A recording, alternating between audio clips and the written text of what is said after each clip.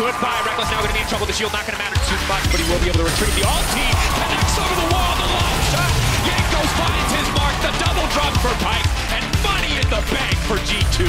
Jankos will not come out on top of this 1v1 match. He needs to make it out to safety. Where's he going to go? Will step forward. Will go right into Humanoid.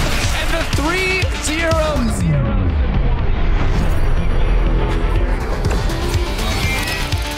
Gonna be disastrous. That's gonna be the shutdown for Jankos. Leader not not run.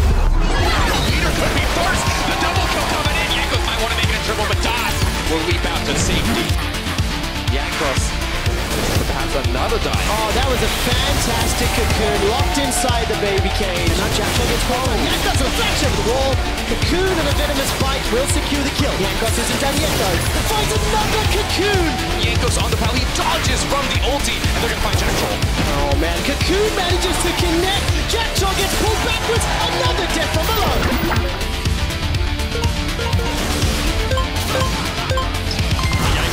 steals away the ult. We'll watch this. Wait, does he walk into is he? Oh! No way!